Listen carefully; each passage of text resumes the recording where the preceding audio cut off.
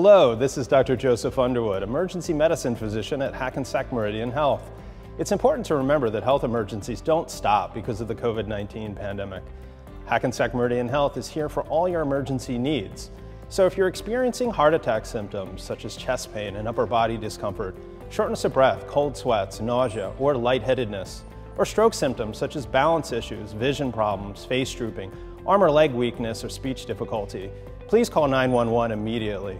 Our emergency department team is taking special precautions with all patients and created designated areas for the treatment of COVID-19 patients. To learn more about how Hackensack Meridian Health is providing you the best healthcare during this pandemic, visit hackensackmeridianhealth.org slash getcarenow or call 833-565-0404.